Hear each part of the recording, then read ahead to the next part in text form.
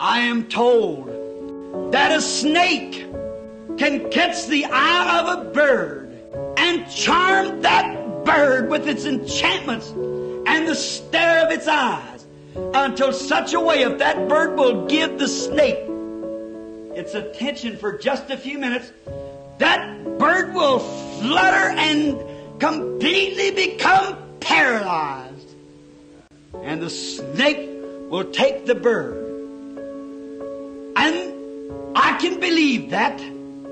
Because I know of another serpent, the devil, that if he can ever catch the eye with his enchantments, with your modern rock and roll and all your fandangles of the world, if he can ever catch you, young lady or young man, just long enough to get his charm in you, you'll flutter, but you can't get loose.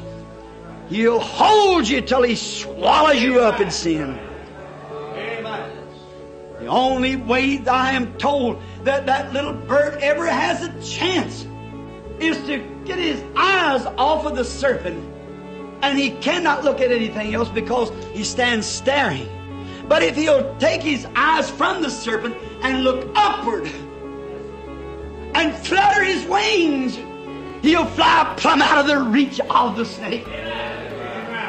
And if you have ever got the charm of the world and the things of the world and unbelief charming around your heart that tells you, oh, live modern, shake your head tonight and look up to the unseen one, the Lord Jesus, and flutter your wings of prayer until you fly plumb out of his reach and out of his clutches.